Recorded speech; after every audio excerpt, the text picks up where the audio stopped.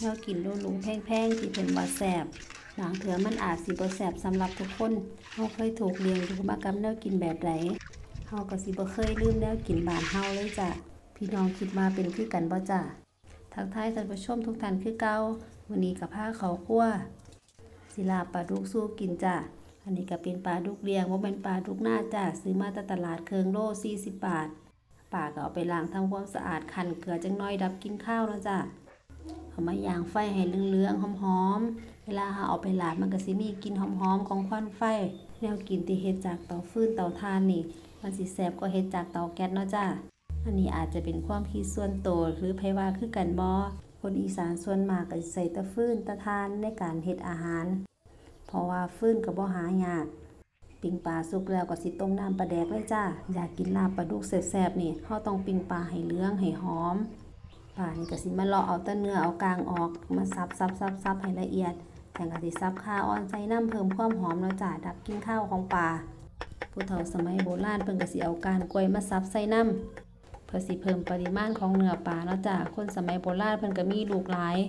เวลาเฮ็ดลาบปลาลาบนกจังซี่เพิ่นสิเอากาบกล้วยมาสับใส่นำเพื่อสิเพิ่มปริมาณจังสิกินอิ่มเนาะจ้าคนถวยหนึงก็พากันกินอิ่มเบิดเฮียนกินได้เบิดมือ บ่แม่นว่าคนอีสานกินประหยัดได้จ้ะแต่ก็คือคนอีสานเวลากินข้าวก็สิจำเอาเนาะจ้ะเอาข้าวเหนียวจำบ่ได้ตักเอาคือคนภาคกลาง แนวอยู่แนวกินก็เลยบ่เปลืองปานใดผักที่ใส่มื้อนี้ก็มีต้นหอมมีผักแพรวมีหัวหอมแดงมื้อนี้แจงก็สิลาบใส่บะกอก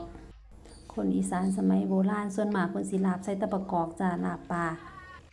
มันจังแซ่บเนาะจ้ะเพิ่นว่ามันอมเปรี้ยวอมหวาน มันผสมเกินไปคือบักนาเพิ่นว่า เทน้ำต้มปลาแดกห่อนๆลงไป จากนั้นก็ปรุงเครื่องใส่ผงชูรสใส่พริกใส่ข้าวคั่วแล้วก็ใส่หอมลงไป คนๆๆๆให้เข้ากันซ้ำนี้ก็เป็นอันเสร็จแล้วจ้าลาปลามื้อนี้ก็สิบ่เฮ็ดเผ็ดปานใดเนาะจ้าให้อีแม่เรากินน้ำคนไปก็หอมคักจ้าหอมบักกอกหอมข้าวคั่ว